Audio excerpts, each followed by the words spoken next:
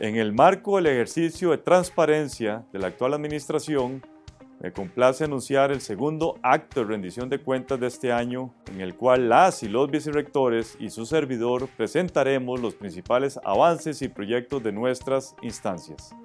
El Consejo de Rectoría tomó la decisión de realizar este acto en el marco de un Consejo de Rectoría, el cual será transmitido en directo el próximo 4 de noviembre a las 2 de la tarde a través del canal de YouTube de la Rectoría. Toda la comunidad universitaria está invitada a seguir esta transmisión. Durante la semana del 18 al 22 de octubre pondremos a disposición un formulario digital con el fin de recibir propuestas de temáticas sobre las cuales desean que se rindan cuentas. El formulario se encontrará en el portal de Transparencia Institucional, en la dirección transparencia.ucr.ac.cr. Continuamos por la ruta de una política de gobierno abierto que rinde cuentas de la gestión universitaria.